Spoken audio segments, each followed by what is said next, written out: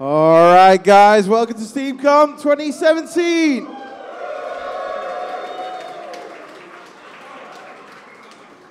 a pretty good start.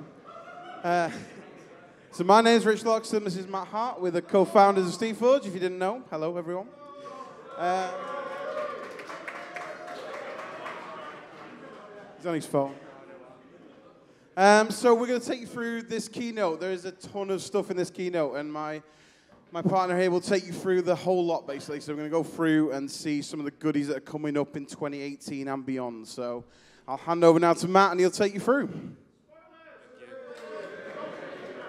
Hey guys, unaccustomed as I am to public speaking, I uh, thank you very much for coming. No, I was going to start with a really bad joke, but I, I thought that that might kill the mood. So I'm going to talk to you about an awful lot of things. First thing I want to talk to you about is Guild Ball. Uh, is probably one of the key reasons why all of you here this weekend. Thank you ever so much for coming. Uh, yeah, woo! SteamCon is bigger than it was last year. The venue better. The food not so much, but um, we'll gloss over the food. But certainly the amount of games that we're seeing people play, I was blown away this morning. I got up around about half eight. I had a bit of a lie in. I thought, I know, I'll saunter down to the casual play. There'll be a load of people milling around, probably looking for games, and I'll be able to pick a game up. And I walked into the room, and there must have been 50, 60 games already going. There was not a spare man to, to be played. Absolutely brilliant just to see that many people playing. And it's something that we see reflected uh, in, the, in the stats. So we track the stats, we have a look and see what happens on Facebook, we have a look and see what happens on our forums. And as you can see up here, we've actually seen a steady state of growth for Guild over the last uh, year since I spoke to you. Um, huge influx of new players. We've seen some old players rotate out. Some we're sad to see not play the game anymore, others less so. Ooh, who is he talking about? Who is he talking about? But huge influx of new players, loads of new people coming into the hobby. And what really makes me happy is when I see people such as yourselves, old hats of the game, actually welcoming these people in, helping them out, new players asking questions, and you see it on the forums and you see it on Facebook. So you should give yourselves a round of applause for being one of the best communities I've ever seen.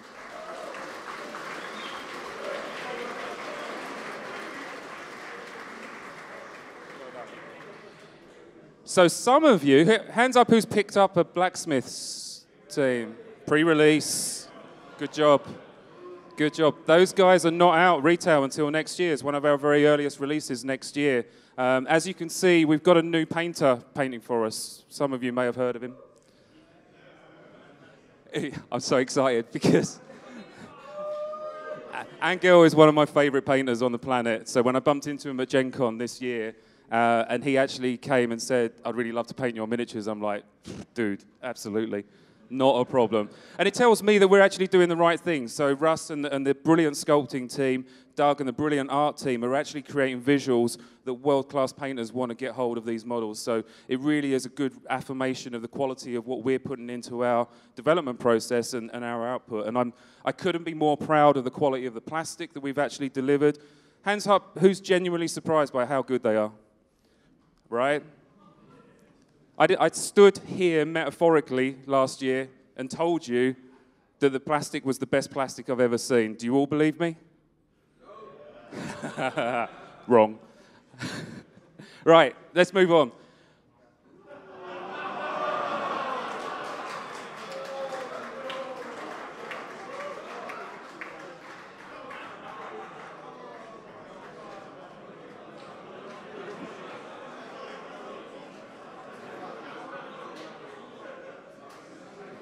So we want to support local game stores, and the way that we do that is try and push the boundary, try and be innovative. And what we saw a couple of weeks ago is the alternative sculpt for Millstone that we encourage players, you guys, to go and speak to your local game stores and tell them that you wanted this model. And they had to then go and talk to their distributors, who then had to come and talk to us. And that's that's the business model. So we sell to distributors who sell to retailers who sell to you guys, okay? But what's important to us is making sure that you guys are going into stores and supporting your local game stores. Um, and if we can do something that pushes the needle on that, that really helps make sure that you're actually going to bricks and mortar stores and supporting those local businessmen and playing games in there, then that's something we're going to continue to do. So the very next exclusive model that will be only available through your LGS in the same format will be the Alt Pose Bolt.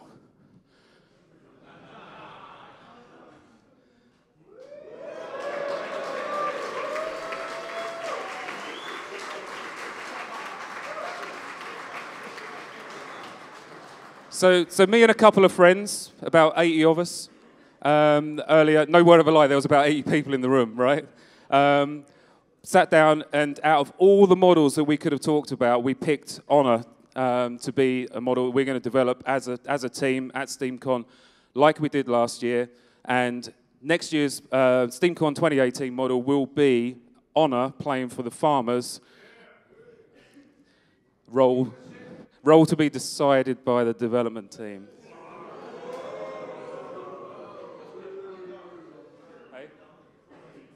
She will come with a dog, apparently. Probably be a border collie. Maybe have one ear just folded over. Looking quizzical. We also like to run community events. We love engaging with you guys, and it's not just a business mechanism of engaging with the community. It's actually because we're gamers and we like hanging out with you a lot and talking to you about stuff that we enjoy talking to you about. And one of the things that we have been doing is the Union Chains campaign. I hope all of you, hands up, who's posted a result for the Union Chains? Good job, guys. I've got results. Who wants to hear them? Yeah. Sorry? Sorry? Sorry? Who wants to hear them? Yeah. All right.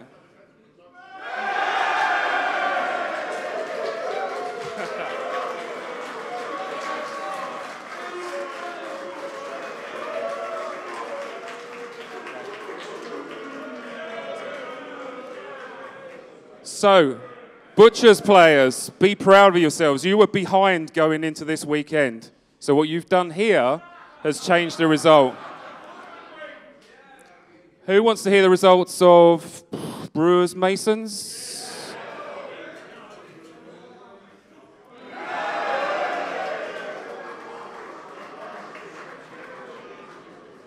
Good job, guys. Hey.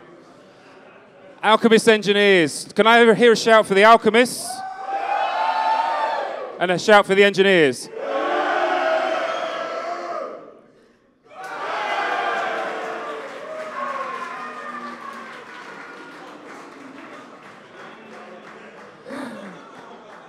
So, three new veteran models for those guilds. There was another thing that happened, Obulus. Boo! Obulus. Obulus cheated. But he's got a reason for cheating. The reason for cheating is he is worried about what the church are doing. The church have come in and, and basically they're trying to dissolve the power of the union because they know that that's going to undermine the power of the guilds and that's going to create a power vacuum that they can move into and start controlling the game that we all love. Okay? And Obulus has come up with a way of stopping the church a way of defying the church. He's found a loophole that he can actually work with. And the other guilds will start to follow. So, what I'm pleased to tell you is that we are going to introduce the concept of the minor guilds. The minor guilds will ally themselves with a major guild. All the existing guilds that you guys play are considered a major guild. We will be releasing minor guilds throughout the course of next year, starting with the Rat Catchers. The minor guilds are from the lower leagues of Guild Ball.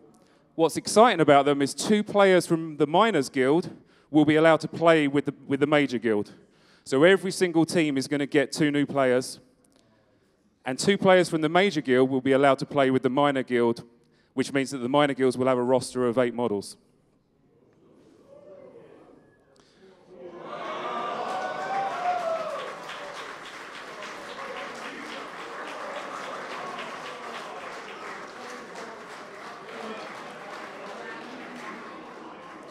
Two new rat catchers models.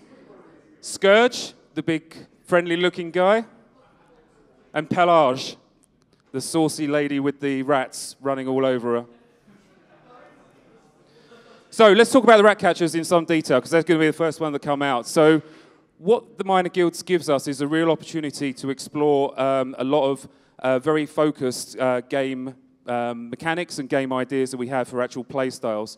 And one of the things that we wanted to do with the rat catchers um, is really focus on this uh, concept of dilemma.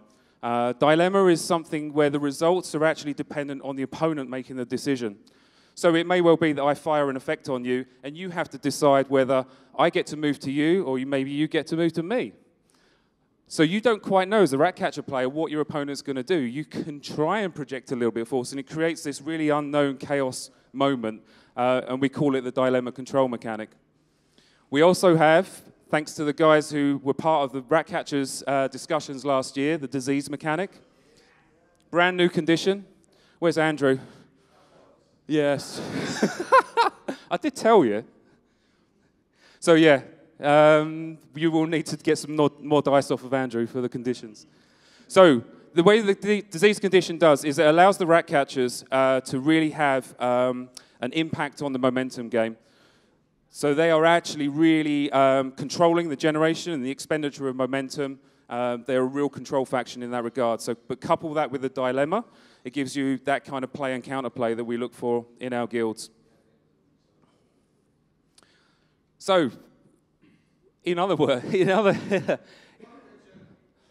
anyway, we'll, we'll, have questions about the rat catchers at the end. So, rules previews. Okay, so we have shown you two key rule previews uh, this year.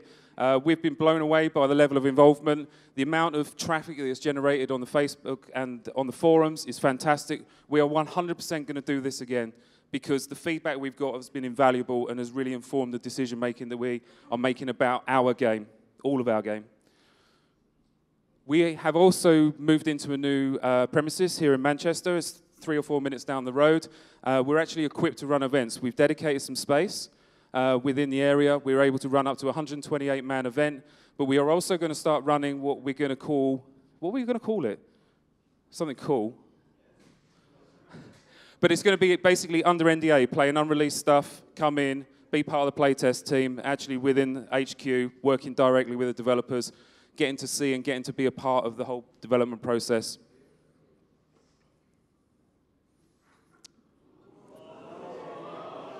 Where's Ed? Uh, not the other Ed. I told you. So, organised play for next year. We've had a really serious think about organised play. One of the things I do want to stress is we have had a close look at the supply chain and the way that these packs are getting out to you. And quite frankly, what happened in 2017 is not good enough. No one is happy with, with the limited supply of these kits. So we are making sure that going into 2018 that those problems are going to be reduced to the point of eradication, and you guys are going to be able to get the kits in the right hands, not the people who gouge them on eBay. We're going to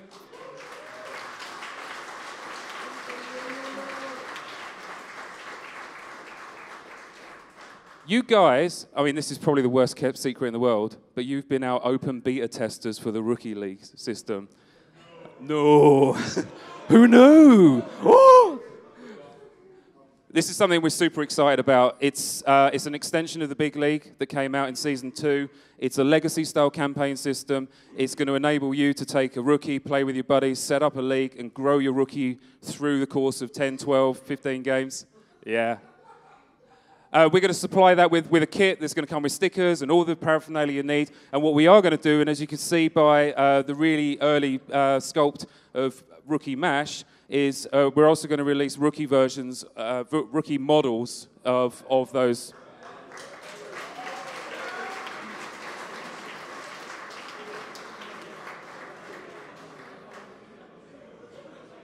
Hold on, I need to go back. So the Rookie League is designed for new and experienced players, and it's really important that this organised play approaches a full spectrum of players. So both new and experienced players should get a, a kick out of this.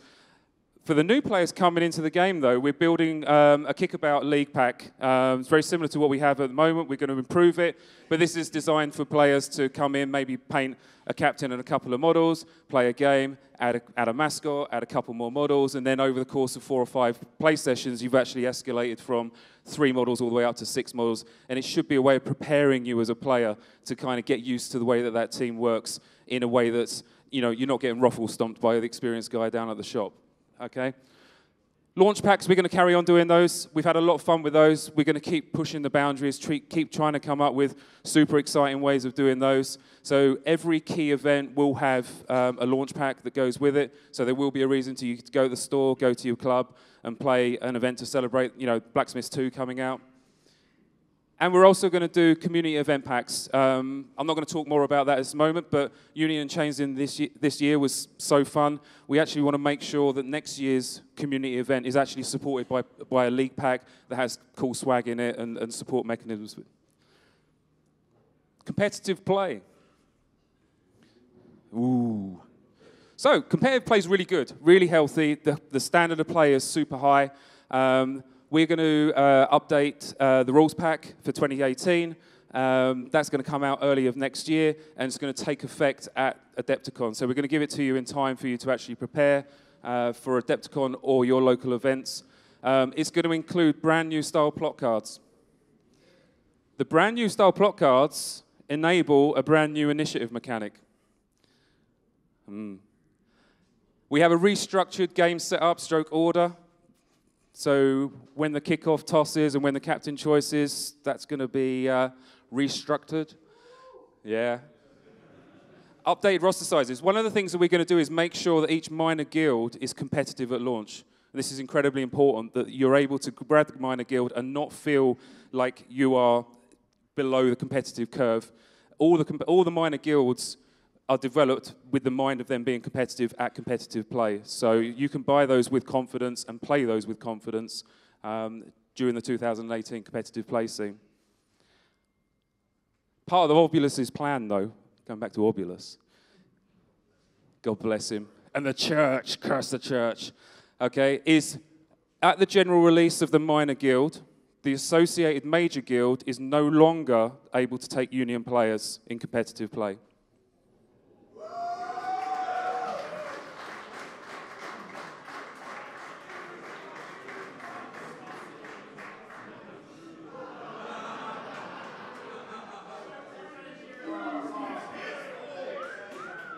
He's a good looking fella, isn't he? So we talked about the size of the community growing. Um, we've also seen hundreds of Guild Ball events all around the world. Um, small eight-man scrambles all the way up to 100 plus events run by Jay, Vengeance, and WTC. And we're absolutely going to continue to support those as best we possibly can. Um, we firmly believe in the community side of things and the competitive scene, and we just like coming along to them. And it's very often you'll find someone from the dev team or just anyone from Steamforged appearing at an event and just playing, playing in an event, hoping to win. I never win. One day.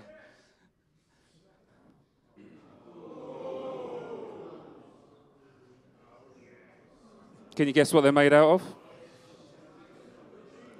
So, one of the things that we want to do is we want to work with you guys. This is a newly sculpted fisherman team, all 12 models. We have updated the sculpts to ensure that some of the lessons we learned from the season one sculpting has been corrected. Um, they have a lot more surface area for you to paint, a lot less fiddly detail. Um, the poses have been improved. Uh, we've obviously got the goal models and the terrain and the new style pufferfish ball. We've even got salt in there. But, but, hold on, guys. The issue that we have with PVC is it has an upfront cost. And that's something that we want to work with you guys to understand is there a demand for something like this before we launch into investing a huge amount of cash into the molds and everything like that? So we, we are going to reach out to you and we're going to be absolutely transparent as we always are. I feel like a stripper now.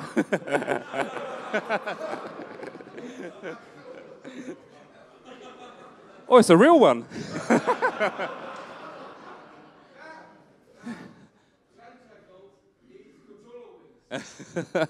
so we're going to put this out for a basically a vote. Like how many? We, we did a little poll to see which teams you guys like the idea of moving into PVC.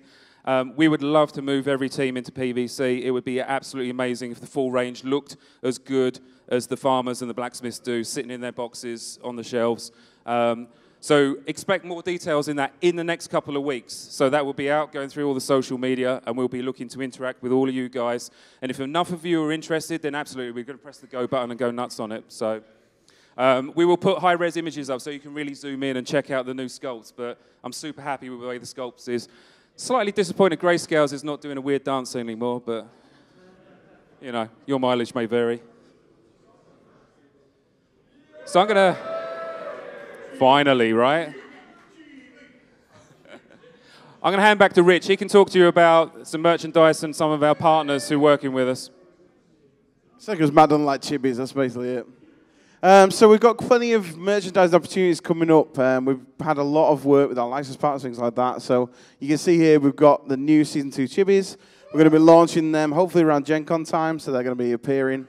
Uh, the t-shirt range is going to be in the next few weeks. We're going to do a full t-shirt range with the logos, something that you guys have requested for a, a long time. And we've finally got the systems in place to be able to do it. So we're just making sure the quality's right. We did try and get a SteamCon t-shirt. We were a little bit late on it, uh, but we will definitely get this range up to have a look at.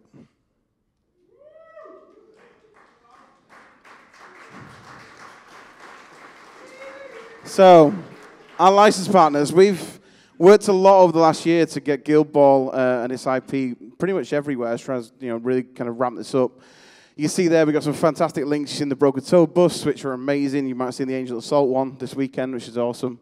Uh, DTR, Frozen Forge, you know, the list goes on. We've got a really good core that we're already working with our products out there.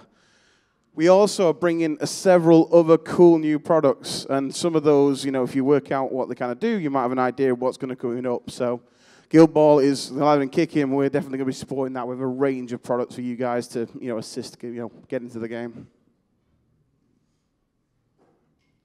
Okay, so there's other part of Steamforged. What we've been doing as well is trying to look at what we've created over the last kind of 18 months, and we've gone from you know me and Matt working on Skype in our bedrooms till 1 a.m. to having quite a you know quite a system, you know, global system of distribution of kind of companies within the companies. And Printmaker we launched recently was, you know, that's our 3D printing service we've had for the last year.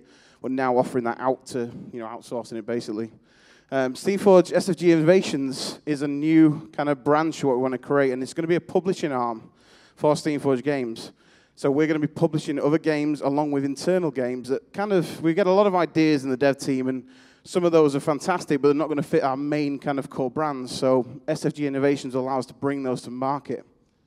Uh, SFG Player is the other part as well. That is our basically our affiliate program. So we're going to talk a bit more about that probably next week. Going to see a bit of it coming out.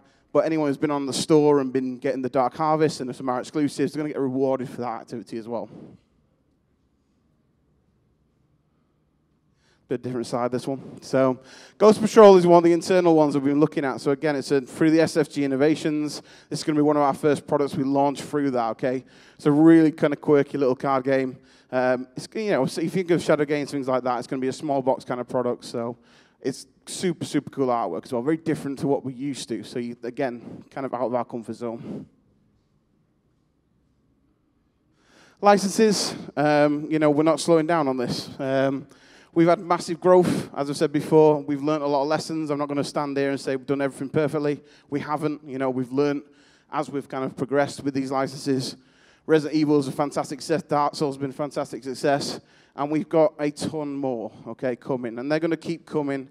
And we're going to make sure that our dev teams, you know, we are fully equipped to handle all the kind of things we're doing. So I just want to make that really clear is that the opportunities we've been given, we've really kind of ramped ourselves up to, to handle this, okay? And there are some wicked, wicked projects that I cannot talk about right now, but they're going to be coming down the pipelines, okay? So make sure you have a look from 2018 onwards. Now, stop there, Matt. I'm going to pass back to Matt. This is. this is something that me and Matt have been working on for probably two years, and it's a baby that a baby that we've been nurturing for a long, long time, and uh, we're quite pleased. I'll hand over to my very good friend to introduce the product. That's it. Is there any questions?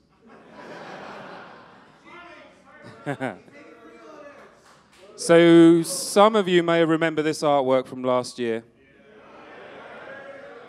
So I'm very, very pleased to introduce you to a game that we're calling Godtear.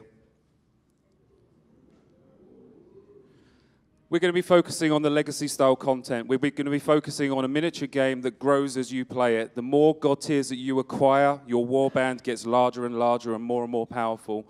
So think all of those wonderful games from our, our youth, like Mordheim and Necromunda and Realm of Chaos and all those kinds of games, all of that rolled into a really modern, fresh rule set. Um, utilizing an awful lot of the engine mechanics that we have from Guild Ball, so you've got the cleanliness of that rule system but set in a classic fantasy world with the legacy gameplay.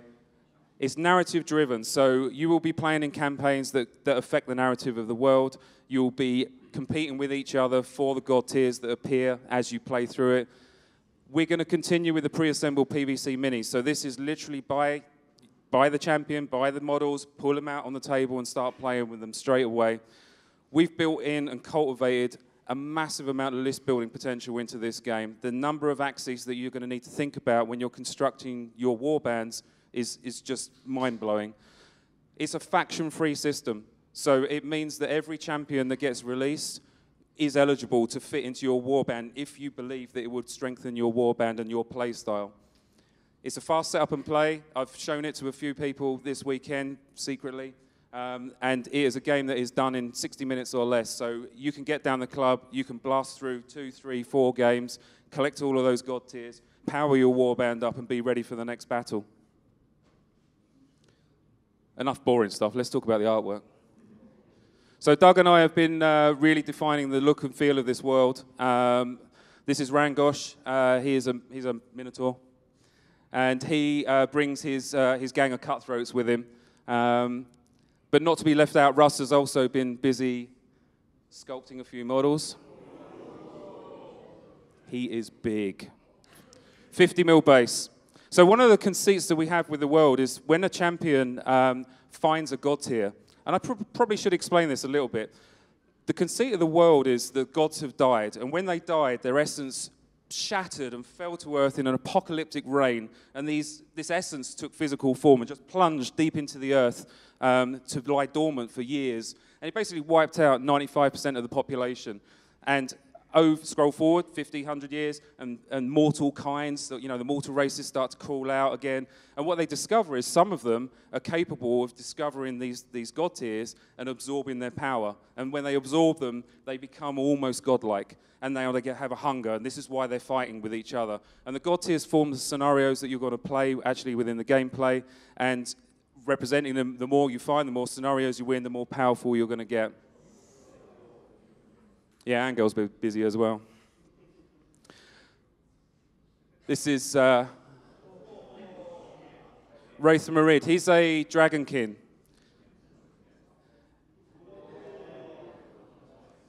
So he comes with um, some whirlpools, which he can use for movement shenanigans. What's important is that each of the champion comes with a unit. So this is one of the axes that I'm talking about. So not only are the decisions going to be about what champion, but what, the, what is the unit that that champion brings and how does that affect the playstyle of your warband.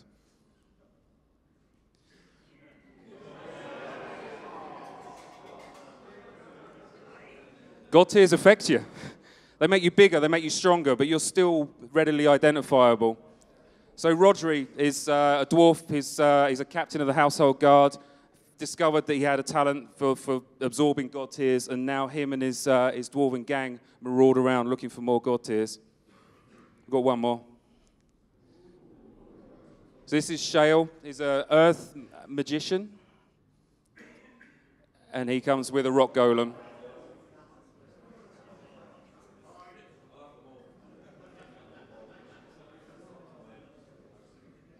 So, like I said, you start with a small warband. So, the, the, the, core size of the game is three champions with their associated followers. Okay, so what we're actually building in, much like with Guild Ball, that they all bring a unique role to the battlefield, and what you're looking for is cool combos and, and setup plays between each of them. Um, each, each champion will have a number of roles that they can follow, um, and it's up for you how you build that champion out through the course of time. So you could go down a more tanky route or a more DPS style route um, and you're looking to kind of build those synergies within your warband. Um, as I say, you're fighting over Godtears. So when you're competing with, with your friends, um, you're looking to gather Godtears. And there is a rubber banding system that stops that guy who plays a million games just snowballing the game out of control. Very much like an ELO system, if everyone knows what that is. Uh, but it means that the stronger do not necessarily get stronger. Um, and it means that the game stays much more, or the campaign stays balanced for much longer. But what you're looking to do is to gather godtears. You're looking to spend them on increasing your champion powers, and you have unique build paths for each champion. Or you're looking to attract more followers, another champion maybe, who brings his own kind of cadre of, of warriors with him. And you're also looking to progress the campaign. As I said before, this is a narrative driven campaign. So we're going to make this very uh, live, uh, so very seasonal. So we'll be releasing organized play to go along with this that will help push the narrative of the world along. And we're certainly going to be looking for the results of what you guys do with this to actually drive the world. We're going to focus an awful lot with the organized play on kind of um, like campaign weekends. So not necessarily hard 50 point list, blah, blah, blah, but much more about you turning up and this is the setup. And we're going to enable tournament organizers to really sell and tell amazing stories. And you're going to be there to help shape those stories and we're going to record the results of them. So expect your champions to develop through the course of a day at a competitive event. Um, we're also looking at this from the long term as well, that we're going to have to look at cycling champions out. So during the seasons, as things come and go, some champions will wax and wane, and we're going to be able to, uh, be able to keep the health of the game um, very stable by doing that. We're going to do something that I don't know if anyone's ever done before in, in, in war games. Um, we're actually going to be providing the option uh, to get involved early, an early access pack. Uh, and the way that we're going to do that is, well, actually, all of you guys get the first invite. So you get first refusal on this. SteamCon attendees get first refusal on.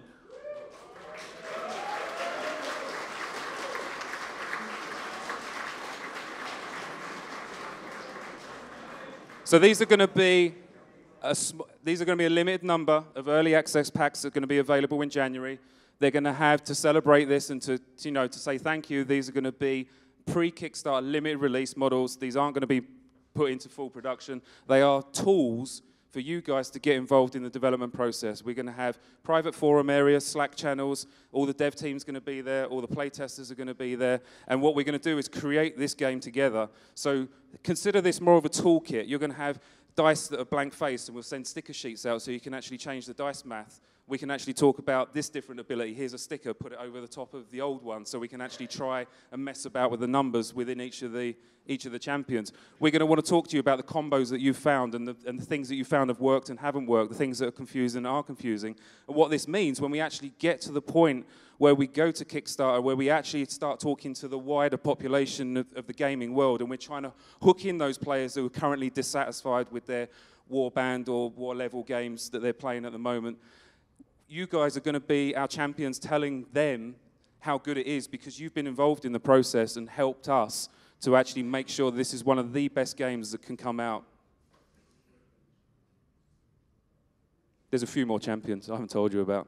So we've got to save something for the American guys. Um, so. Oh, come on. we got to save something for them. So, two weeks' time, we're at SteamCon US. There will be more pictures and more exciting stuff about Godtear and Guild Ball. That's it, guys. Thank you ever so much. Give yourselves a round of applause.